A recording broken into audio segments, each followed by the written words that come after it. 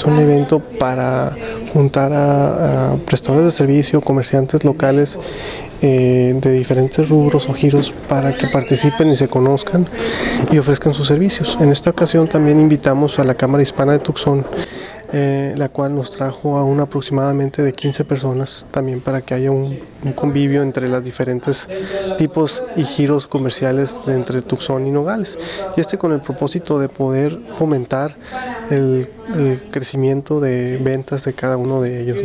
Obviamente al traer eh, eh, comercios de Tucson y que los, los, los empresarios de Nogales se, se, puedan vender a comerciantes de Tucson, pues puede abrir las puertas a oportunidades de negocio eh, y ese es beneficio para la comunidad en general de Nogales.